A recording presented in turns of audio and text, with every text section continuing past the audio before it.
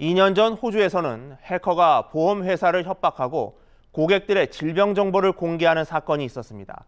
마침내 호주 정부가 범인이 누구인지를 밝혀냈다며 제재에 착수했습니다. 김준호 월드 리포터입니다. 지난 2022년 호주에서는 최대 건강보험 회사 메디뱅크에서 약 천만 명의 개인 의료 정보가 유출되는 최악의 해킹 사건이 발생했습니다.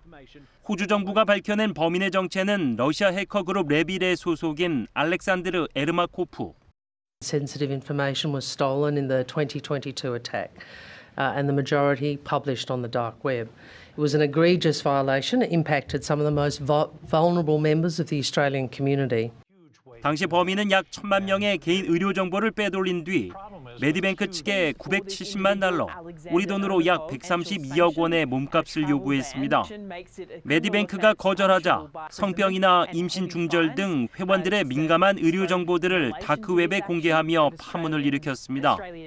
호주 정부는 범인에 대해 금융거래 제한과 여행 금지 제재를 내렸고 범인과 거래한 개인에 대해서도 10년 징역형을 내리기로 했습니다. Today, the Australian government is saying that when we put our minds to it, we will unveil who you are and we will make sure that you are accountable. 호주 당국은 범인의 신원을 밝힌 만큼 소재 파악과 신병을 확보하는 것에 총력을 기울인다는 방침입니다. 월드뉴스 김준호입니다.